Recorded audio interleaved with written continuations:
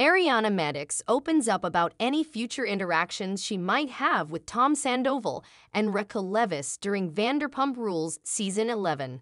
Ariana Madix revealed that she'd be willing to film Vanderpump Rules Season 11 with Tom Sandoval and Raquel Leviss after their seven-month affair. Viewers got to see the aftermath of Scandoval during the Vanderpump Rules Season 10 final, which filmed right after the news broke. On the show and her appearance on Watch What Happens Live, Ariana seemed completely done with both her ex-boyfriend Sandoval and ex-friend Raquel.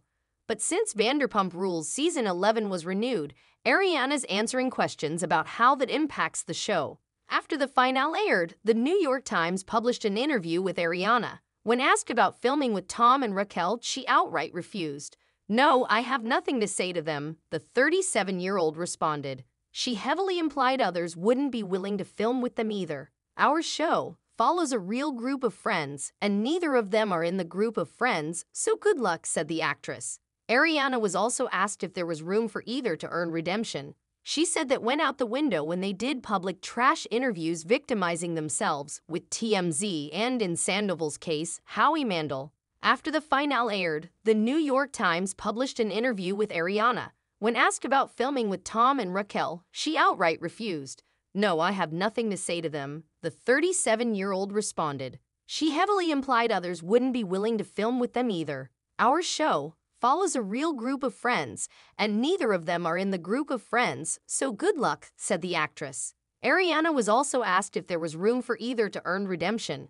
She said that went out the window when they did public trash interviews victimizing themselves with TMZ and, in Sandoval's case, Howie Mandel.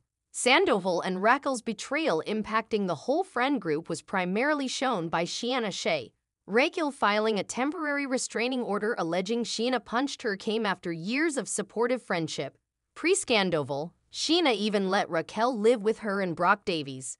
While Scheana admitted to pushing Raquel upon hearing the affair news, she also demonstrated it was impossible for her to make a fist due to her nails. The Vanderpump Rules episode ended with an emotional confrontation between Scheana and Sandoval. The good as gold singer cried recalling their 14-year-long friendship and had trouble reconciling that with his hurtful actions. Ariana's interview and public appearances suggest she'll be back for Vanderpump Rules Season 11, but Raquel and Sandoval's future is unknown. Amid filming the final, Raquel shut off her phone and refused to respond to producers. It wasn't clear if she'd even show up to the reunion until days before. Since then, she has reportedly been in a mental health facility. Ariana theorized on WWHL that Sandoval loves any attention, even negative, so he may come back. Aside from Tom Schwartz and Lisa Vanderpump, it's unclear who would film with him. Ariana has repeatedly stated that anyone who remains Sandoval's friend is done to her.